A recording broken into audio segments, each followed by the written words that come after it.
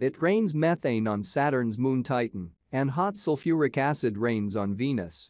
But none of those phenomena are as extremely rare as the WASP-76b, an ultra-hot planet approximately 640 light-years from Earth. When day turns to night on the distant planet, something weird happens. It rains molten iron. WASP-76b is what astronomers call an exoplanet, one that orbits a star outside our solar system.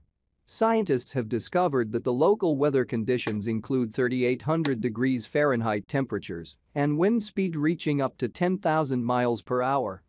WASP-76b is tidally locked, only ever showing one side to its parent star, the same way the moon only ever shows one side to the Earth. Essentially, the side that faces the star is battered by radiation, sending temperatures skyrocketing above 3800 degrees Fahrenheit and vaporizing metals like iron. The planet's ferocious winds carried that to the night side, where temperatures are 2700 degrees Fahrenheit. The observations of the distant planet's unusually hostile climate are the first results from a new instrument on the Very Large Telescope in Chile, which astronomers say will transform our view of worlds far from beyond our own solar system. WASP-76b, which is 640 light-years away in the constellation of Pisces, is an ultra-hot gas giant. It orbits its star at about 3% of the distance between the Earth and the Sun resulting in scorching surface temperatures and the weird phenomenon of molten iron falling from the sky. It's a kind of world we can't imagine easily because we don't have anything like that in our solar system, said Christophe Lovis, an exoplanet researcher at the University of Geneva.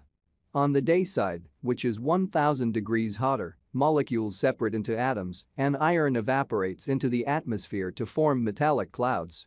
The extreme temperature difference between the day and night sides produces ferocious winds that carry the iron vapor to the cooler night side, where temperatures decrease to about 1500 degrees and the iron condenses and falls as rain that constantly peppers the planet's gas surface and vanishes beneath it.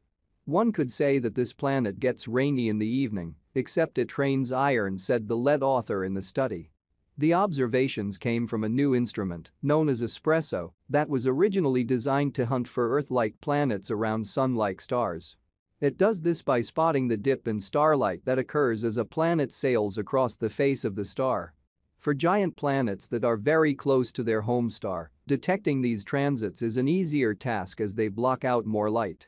Scientists have now moved on to more refined observations that look not only at the dip in intensity but how the spectrum of the light is shifted, which can reveal what gases are present in the planet's atmosphere. The latest observations go one step further and compare the gases present in the leading edge of the planet as it passes across the face of the star and the trailing edge.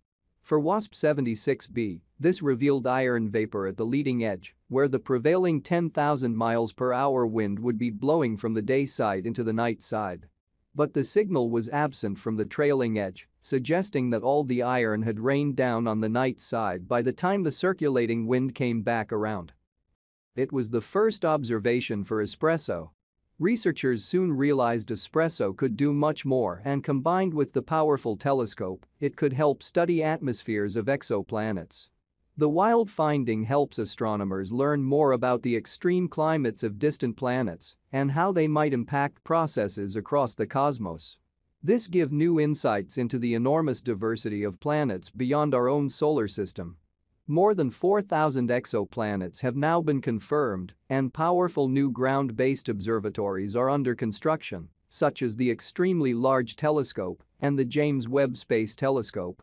They are scheduled to launch next year and expected to bring astronomers closer to answering whether any of these exoplanets have the necessary conditions to support extraterrestrial life. Hey guys, thanks for watching. If you liked the video then make sure to subscribe to our channel